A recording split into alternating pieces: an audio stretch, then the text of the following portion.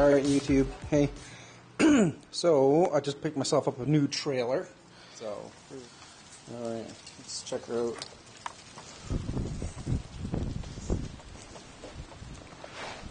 Yeah, it's all flat. I have to replace that.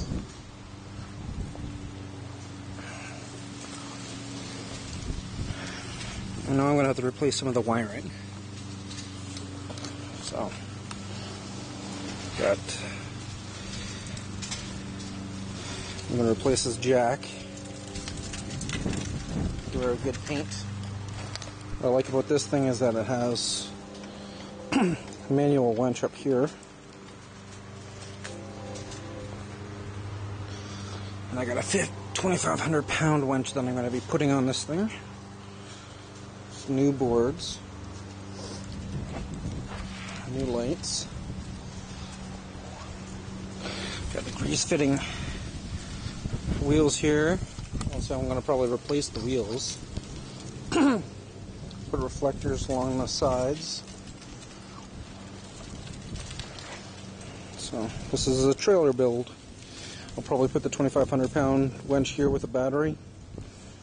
It'll be a growing project.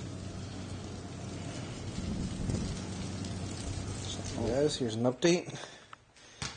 Alright, so I've been doing some work on my trailer for the RZR. So, got her all painted. The new winch put on. The new wiring. I got a lock for my little toolbox.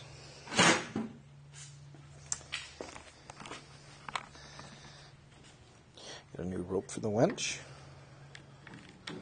Get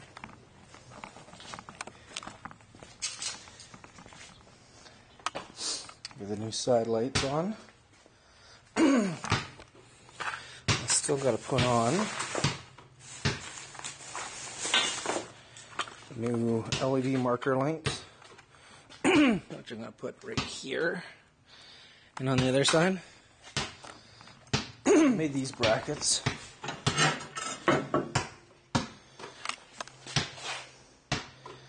Basically, what they're going to do is they're going to sit on the back. So it's going to weld these under here and under there. Some of these metal pieces.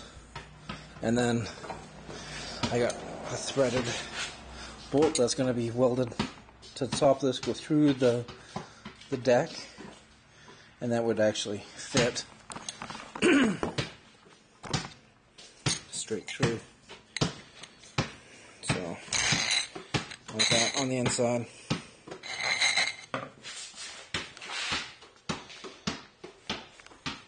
To have them where they have like a hinge with a piece of steel.